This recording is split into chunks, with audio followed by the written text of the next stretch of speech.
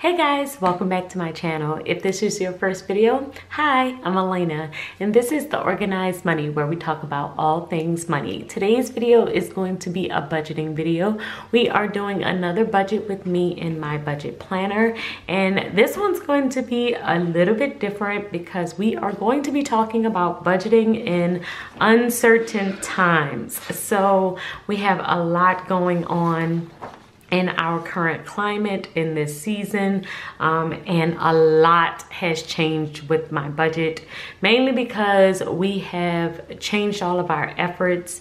Everything that we were doing before with sinking funds and saving for vacations and all of this other stuff has changed drastically due to the coronavirus and how that has played a part in our financial setup. So I will be talking you through about the changes that we have currently made because of um, the virus and how it has changed our income overall. So we're going to be talking about that and talking about um, just what we're going to do going forward until we get past this.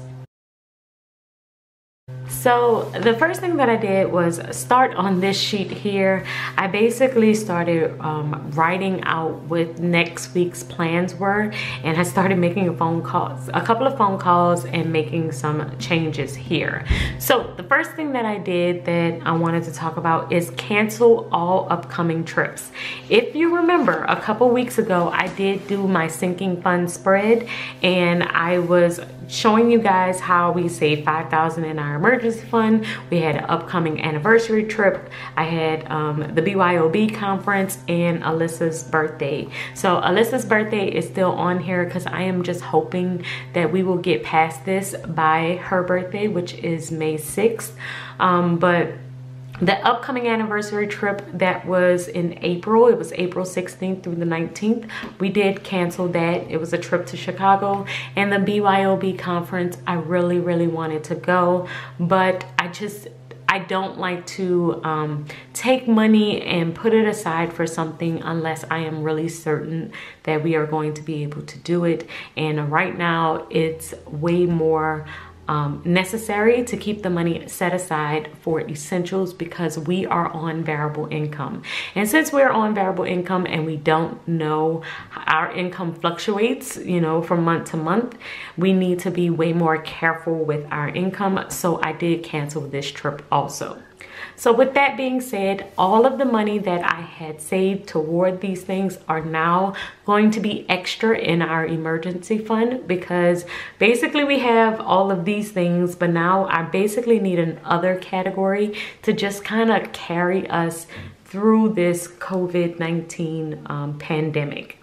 So that was the very first thing that I did. The second thing that I did was um, I called to defer my student loans um, which if you have student loans, they do have an option right now. It's actually a button on the site when you first log into your student loans that if you need to defer or do any type of forbearance because of the pandemic, you definitely can do that. So that was the step two that I did was defer my student loans. And I also called um, the IRS because I am currently paying on back taxes we have a payment plan with them. So in upcoming april i did ask them to get that reduced so that we would not have such a large payment. We are currently paying like $612 a month but we asked to get that reduced just for a short time to $300 until we could get past this.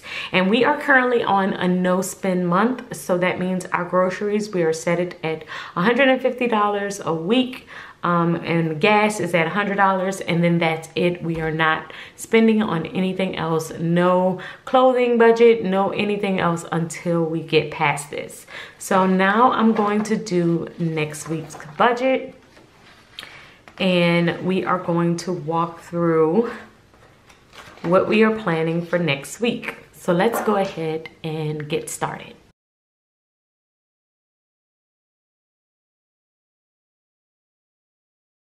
So our income hasn't been drastically affected yet, but I am expecting it to be affected a little bit in the upcoming weeks. So I do want to set aside some additional savings just to prepare for when that time comes.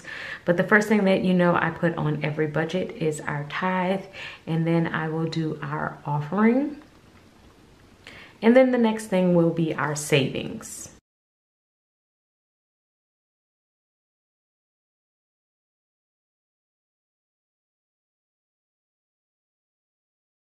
So I've added in um, a tithe offering, savings, food budget, which is 150, the taxes, because I could not change that until next month.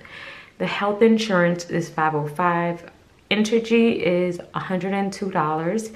The car note 300 and then I put $100 down here for gas. The balance which will stay in the account will go on this line here. So we're going to add this up and see where we end up.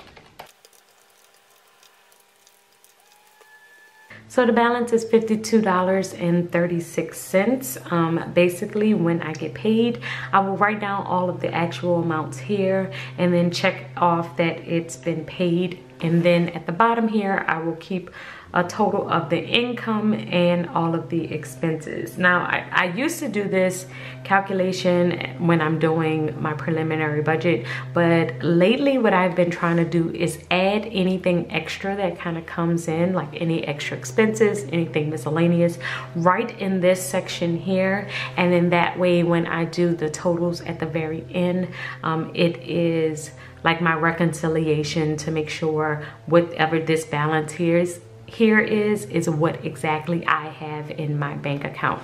I also like to do that with my income like this is the preliminary income and then I will jot down any additions here put the total here and then that way when I am doing my um, summation at the bottom I know exactly how much I have gotten in and gone out for the week and it has really been working out well for me. So those are the changes that we're making during this very uncertain time.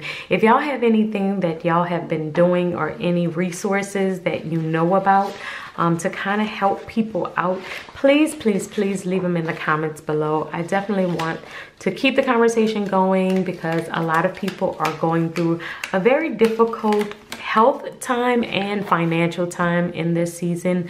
So we definitely need to reach out and help as many people as we possibly can with the resources that we know. So y'all make sure that y'all do that and I will see you guys in the next video.